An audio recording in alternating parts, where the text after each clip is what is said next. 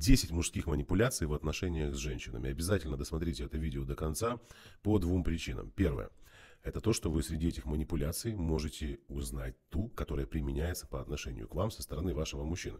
И вторая, это самая последняя манипуляция из десяти, одна из самых жестких, ужасных, если она присутствует в вашей жизни, это катастрофа. Первая манипуляция – это эмоциональные качели, в которые мужчина погружает свою женщину и входит с ней в такой контакт. Каким образом проявляются эмоциональные качели? Это когда то все хорошо, то плохо, то мужчина приближает вас, то дистанцируется. И рядом с таким человеком вы находитесь в состоянии тревожности. Это очень важный ключевой момент. Можно от головы думать, предполагать все, что угодно. Но как только вы почувствовали себя, э, зашли в отношения с манипулятором, э, который применяет эмоциональные качели, самый главный э, момент, на который необходимо обратить внимание, это, конечно же, внутренняя тревожность, стресс, беспокойство.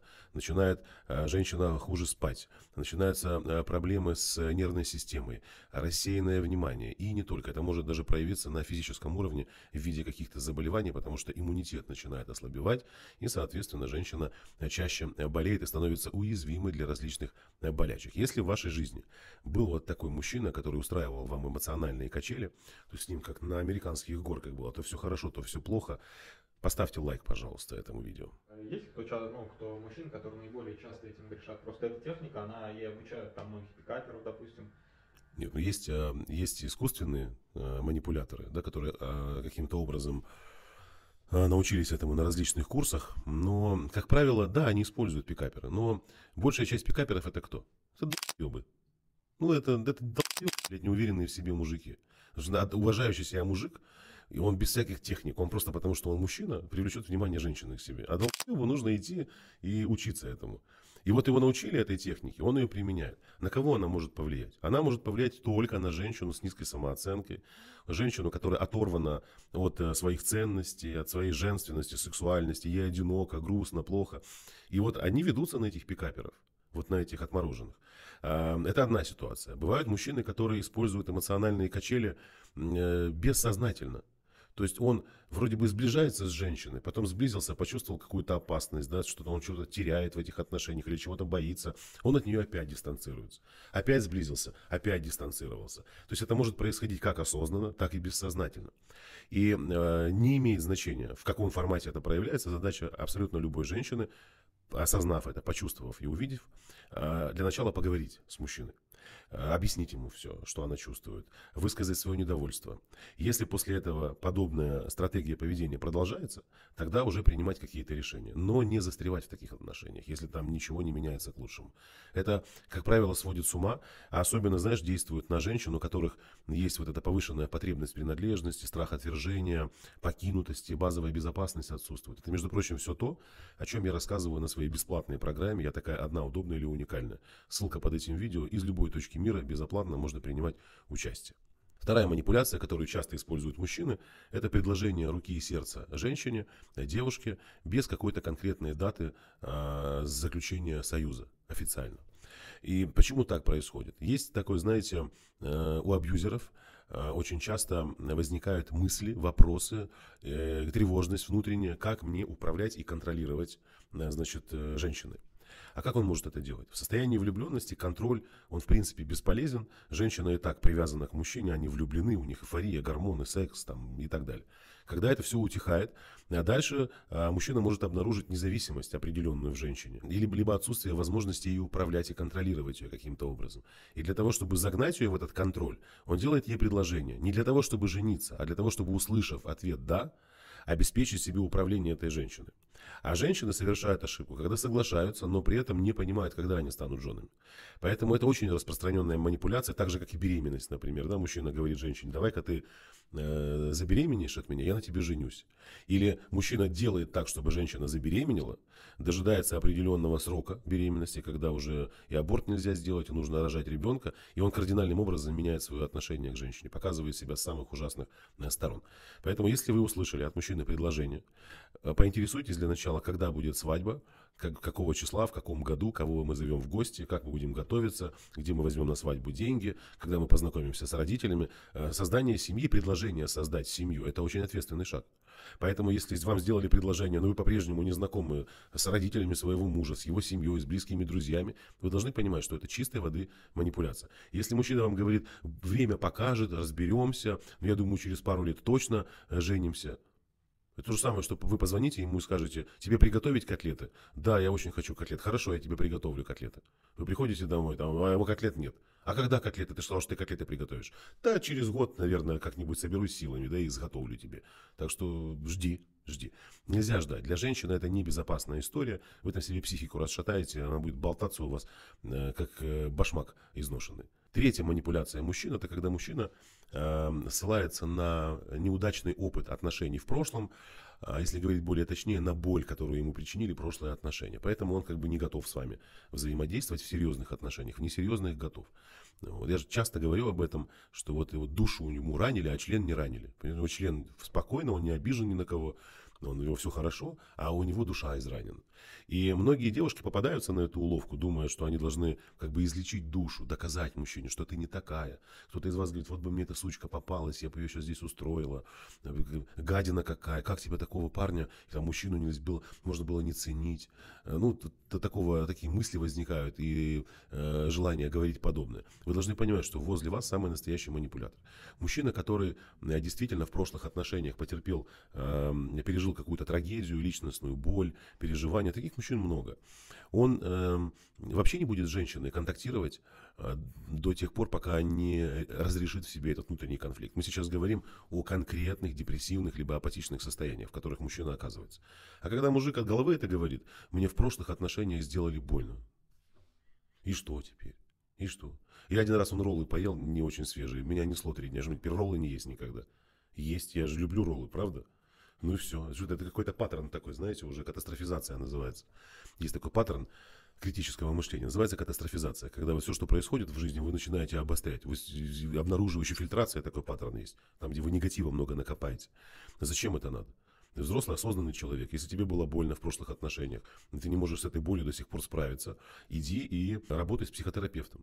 А есть женщины, мне часто пишут, что вот, Марк, я общаюсь с мужчиной, он постоянно мне рассказывает про свою бывшую жену она уже умерла. Это тоже, кстати, манипуляция может быть.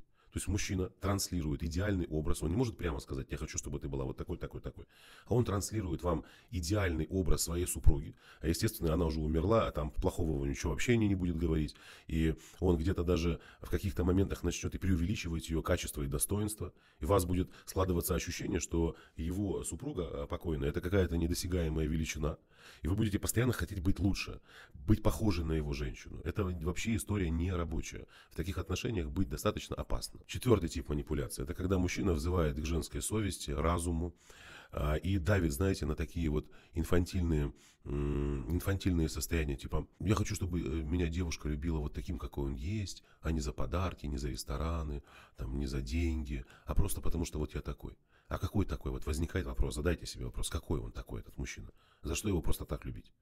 И э, понятно, что на первый взгляд это может показаться где-то меркантильным. Это никогда не было меркантильным. Эту историю про меркантильность придумали мужики, которые не могут э, позволить себе э, быть рядом с женщиной. Они придумывают меркантильность.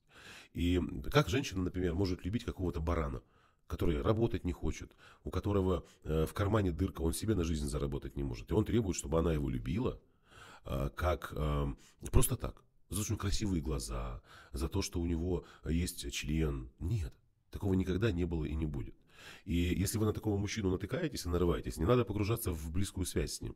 Потому что он будет взывать к совести, а у вас будет возникать мысли, что да, действительно, что это я? Он же такой хороший. Ну, всякое у людей бывает. А потом выясняется, что вы забеременели, а потом выясняется, что он к ребенку не готов, а потом выясняется, иди делай аборт, а потом он вас бросает, а потом он уходит. И вот и все. А все почему? Потому что к совести к вашей обращаются. А здесь даже, я бы сказал, не обращение не к совести, а обращение к, вашим, к вашему невротизму и желанию быть хорошей для всех. Поэтому женщине очень важно в общении с мужчиной определить для себя ценности и вот этот портрет мужчины, каким он должен быть. Понятно, не нужно там завышать э, показатели. Одна девушка пришла, мне приносит список, значит, что она там себе прописала, какого мужчину она хочет. И пишет там, у него суперджет есть свой, у него есть там яхта, у него есть э, куча квартир, недвижимости, у него есть остров, у него есть... И ты вообще где-то упала, что ли, подскользнулась где-то. Я тебе, я этих мужчин весь мир знает. Открой журнал Forbes, посмотри.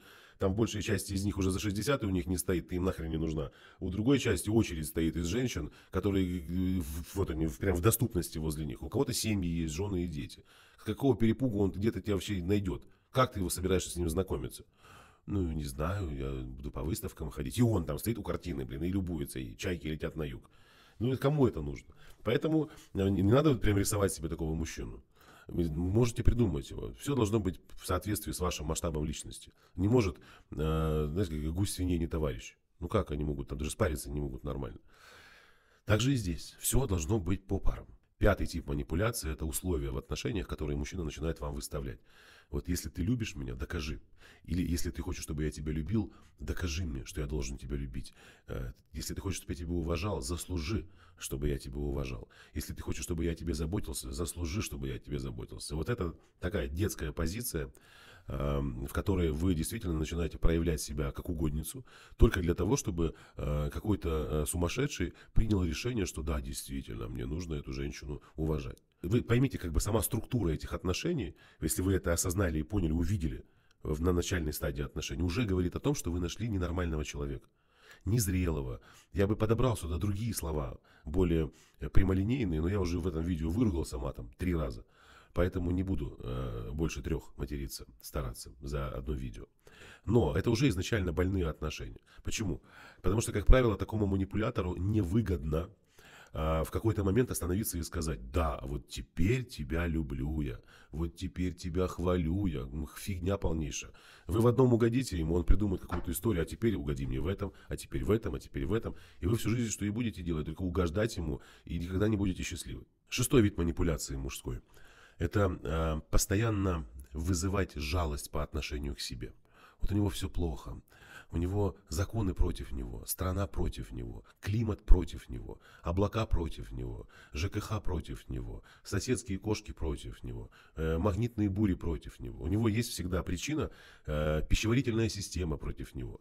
У него всегда есть причина, чтобы э, оправдать себя, свою безответственность, свое бездействие, свою неспособность быть зрелым человеком. И, конечно же, он что? Он постоянно привлекает к себе внимание через жалость.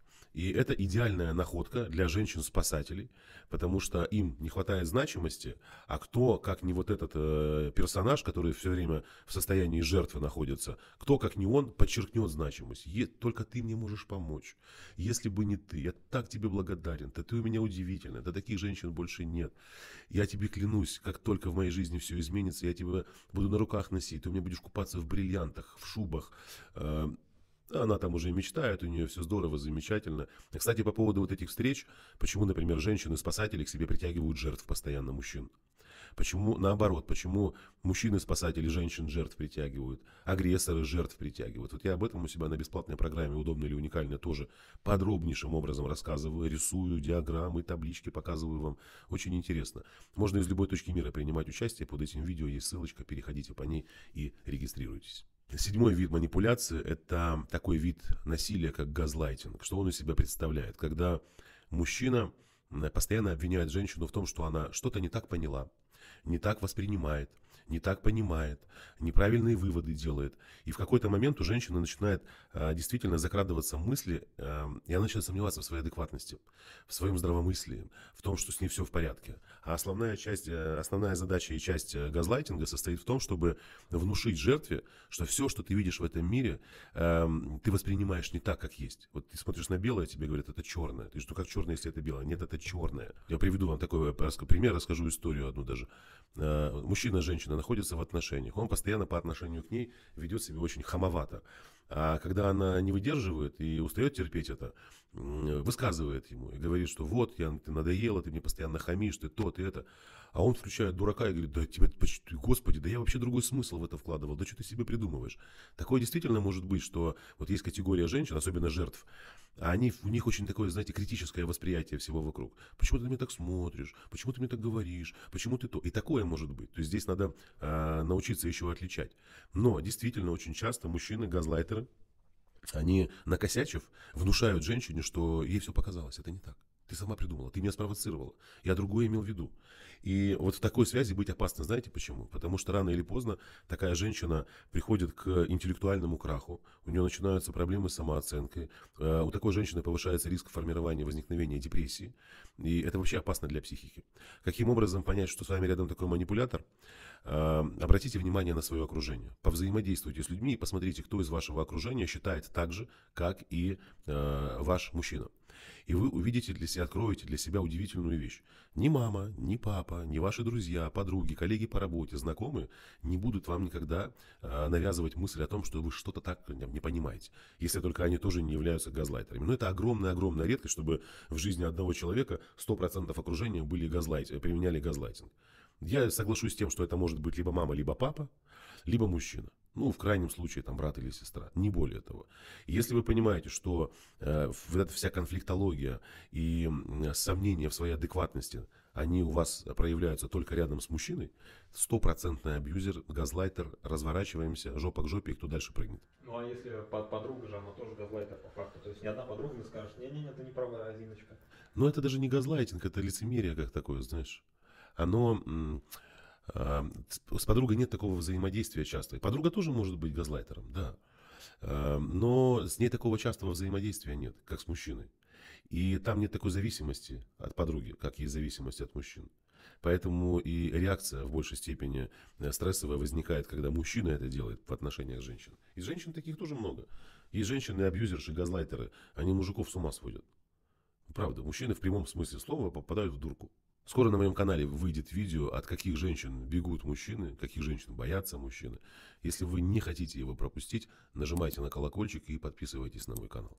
Ну что, мы уже постепенно приближаемся с вами к самому заветному виду манипуляции для вот этих самых застранцев-абьюзеров, которые используют их в отношениях с вами. Поэтому еще совсем немного, и вы узнаете, что это за манипуляция. А пока восьмой тип манипуляции. Мужчина говорит вам, да кому ты такая нужна? То есть он внушает мысль о том, что с вами что-то не так, и никто другой, а, как вот кроме этого благородного дебила, который вот он же, почему он говорит, кому ты такая нужна, какая такая, ну типа чмошница, никакущая.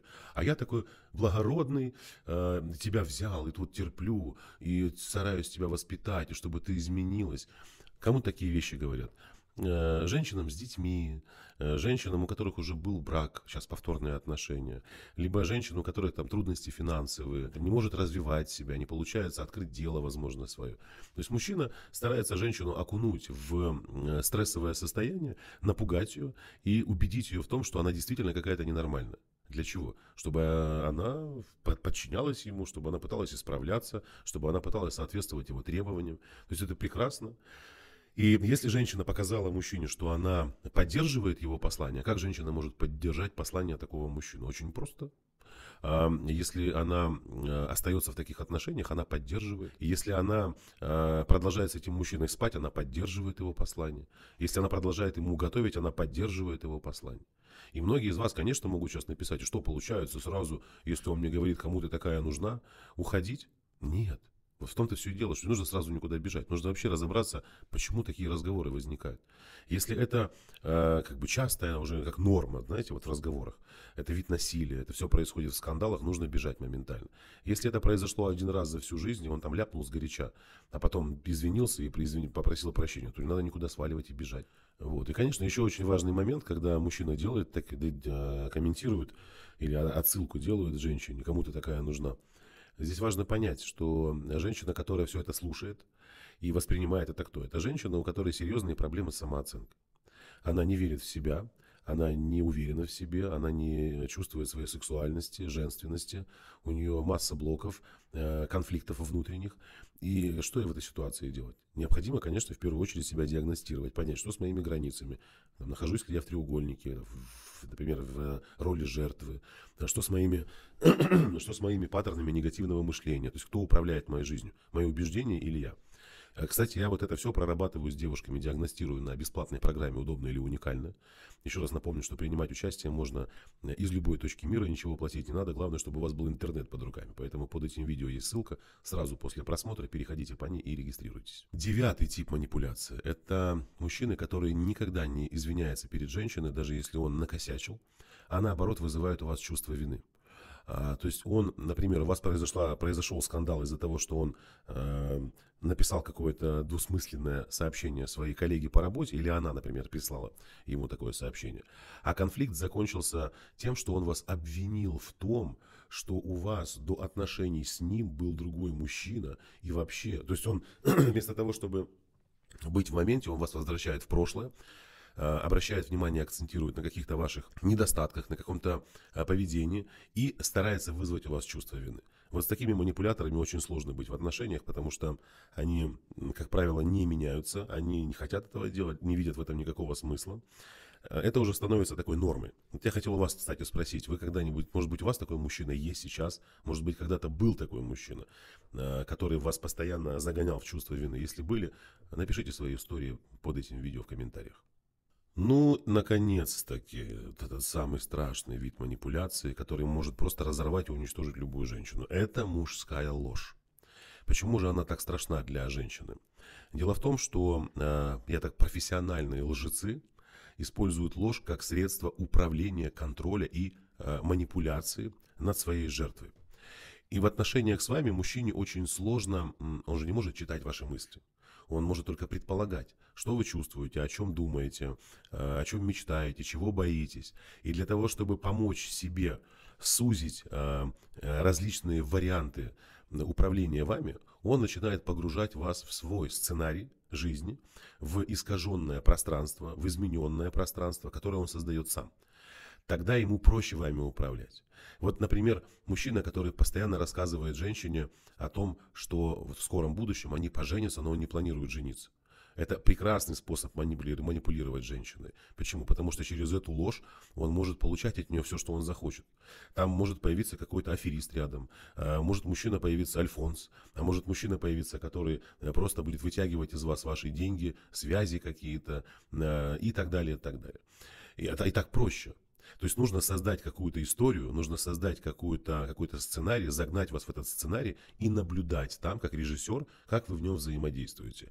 И где-то его видоизменять. С одной стороны, с другой, с третьей, с пятой, с десятой. Понятно, что постоянно новые сценарии создавать сложно, поэтому мужчинам, конечно же, э, это вот, которые находятся в таком состоянии постоянного вранья, им э, это дается сложно. И ваша задача обратить внимание на такого мужчину, если он рядом с вами находится. Как часто он лжет, как часто он начинает запутываться в этой лжи, как часто он начинает э, путать факты. Это говорит о том, что с вами жуткий, страшный манипулятор. Для, для такого человека очень безразлично вообще э, то, что чувствует женщина, другие люди. Он безжалостен. Он это делает от головы, он это делает, преследуя какие-то свои умыслы. Он может наблюдать за тем, как вы мучаетесь и страдаете, но при этом палец о палец не стукнуть для того, чтобы что-то изменить. Почему? У него есть свой сценарий. Он по этому сценарию живет.